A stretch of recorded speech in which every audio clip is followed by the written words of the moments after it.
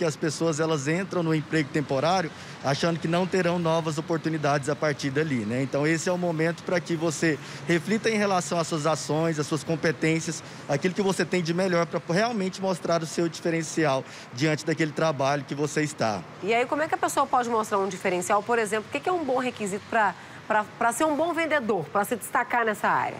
Sim, Manuela. A questão de um bom vendedor hoje é que define várias, em várias etapas, né? Na verdade, um bom vendedor hoje, ele precisa ter uma excelente abordagem, ele precisa manter um sorriso no rosto no atendimento, ele precisa de reconhecer as reais necessidades do seu cliente, porque você não está vendendo para você, você está vendendo para o outro. Então, você precisa entender as expectativas do outro em relação àquilo que ele está procurando comprar.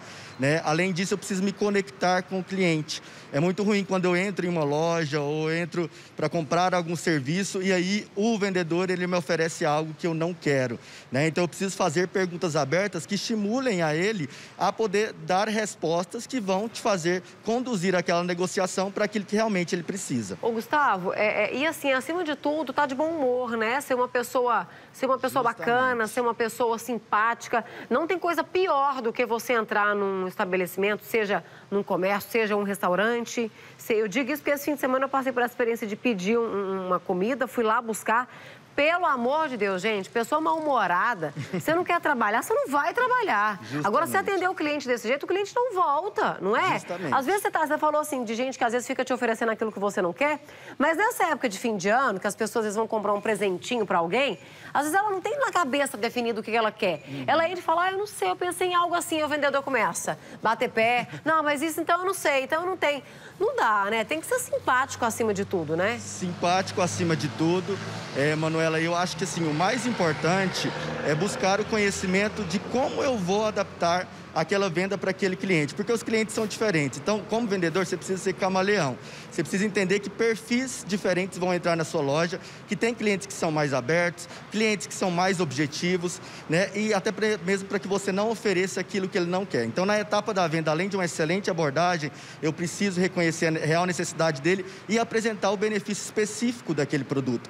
Eu não entro numa loja para comprar um sapato e eu não tenho que sair falando de todos os sapatos da loja. Eu preciso de entender qual sapato que mais adequa ao que você está procurando, para que ocasião, me conte um pouco mais sobre isso.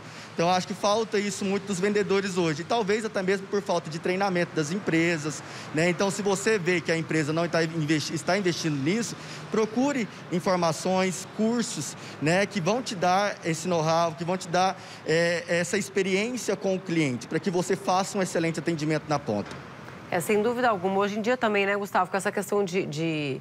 Por causa da pandemia, de rede social, de WhatsApp também, né? É, facilita muito, né? Às vezes a pessoa liga lá na loja, você já se dispõe a oferecer seu telefone. Eu sei que às vezes é um saque e às vezes até a lei trabalhista não permite, nanana, aquela coisa toda. Uhum. Só que para quem quer mesmo, para quem está querendo arrumar aquela vaga, para quem está querendo, tá no seu horário de trabalho, tá ali, mesmo que seja o seu telefone, oferece, tira uma foto, manda ali, porque na hora que a pessoa for comprar, vai procurar por você, né? Emanuela, uma excelente oportunidade também para os vendedores que hoje estão nessa vaga temporária é entender que não é só a empresa que está te vendo.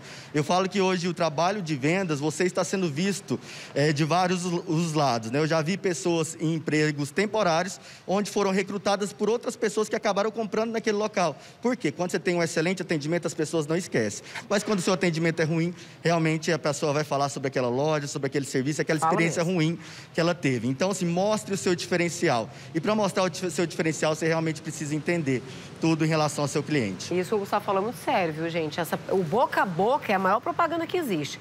Tanto negativa como positiva. Se for bom, você pode ter certeza que você vai ser indicado e alguém vai lá. Pelo menos duas pessoas do ciclo daquela pessoa ali que indicou. Agora, se for ruim, meu amigo, aí você pode ter certeza que para você refazer a imagem de novo é um sufoco. Com certeza. Gustavo, obrigada, viu, meu querido, pelas informações, pelas dicas aqui pra gente.